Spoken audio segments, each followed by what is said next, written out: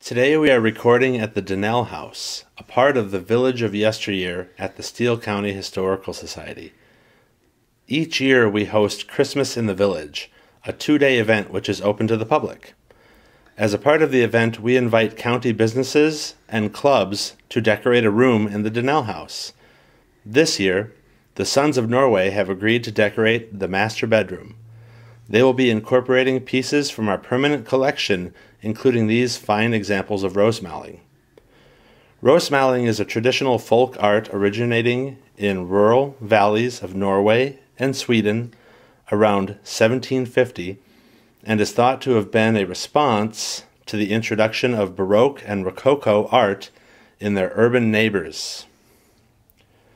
Rosemaling typically features S and C shaped strokes alongside flowing lines of scrolling and floral patterns.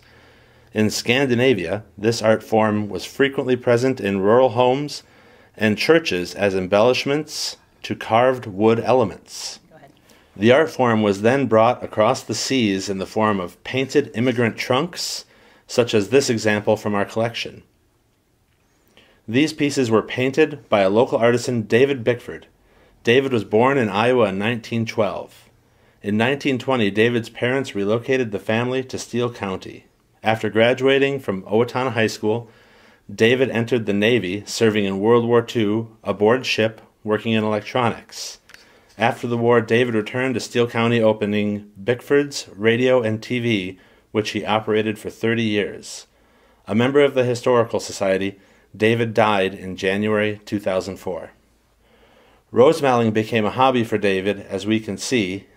He carried this traditional art form through to the 21st century. These pieces will be on display December 4 and 5, 2015 during Christmas in the Village and are now a part of the collection of the Steele County Historical Society, where our mission is to preserve and share history today for tomorrow.